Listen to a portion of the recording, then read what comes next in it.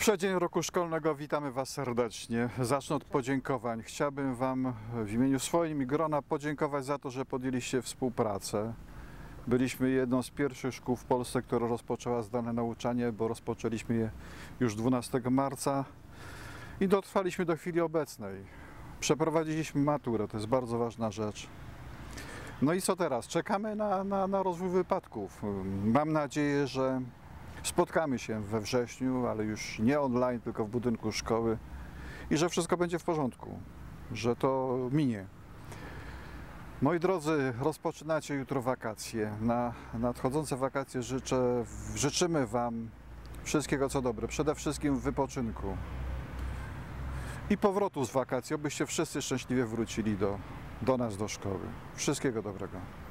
A na szczęście mamy dla Was czterolistną koniczynę, ro, która rosła tutaj w szkolnym ogródku. Wracajcie do nas, bo tęsknimy. Udanych wakacji. Do zobaczenia we wrześniu.